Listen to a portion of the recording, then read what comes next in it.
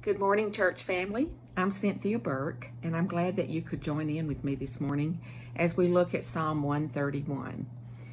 A simple trust in the Lord. This is another of David's song of ascents.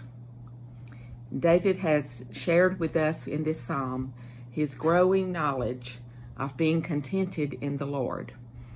It is a learned contentment, a beautiful denial of his pride, his arrogance, and his selfish ambition. And of this psalm, Charles Spurgeon wrote, It is one of the shortest psalms to read, but one of the longest to learn.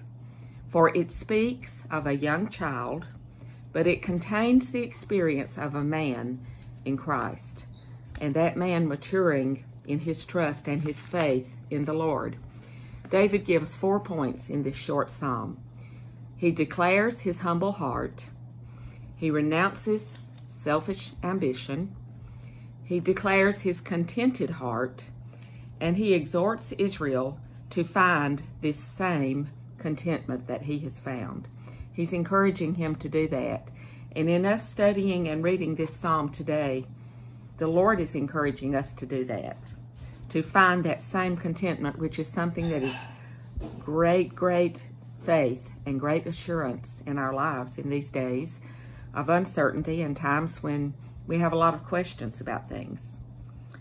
We should set our hope in the Lord and on nothing else.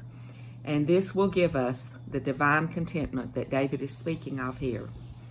In this last verse, David says to Israel, O Israel, hope in the Lord from this time forth and forever. And that is a word for us this morning, and I hope you will be encouraged in that today. As you go your, around your day, you may be busy. You may be able to relax a little bit, but think on these things. And let's all stay in God's Word. Thank you. Have a wonderful day.